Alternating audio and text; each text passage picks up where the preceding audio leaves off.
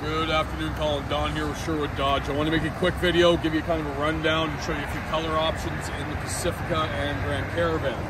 Now, to the left here, obviously in black, this is the Grand Caravan SXT. It has come a long way since uh, you were looking at putting the business. Although it is more of an economy entry level, uh, you're still getting everything like power sliding doors, power driver's seat. You are getting the nice touchscreen with Bluetooth, backup camera, everything like that, and a power lift kit. Now, right down here, I have a Touring L and I have a S as well.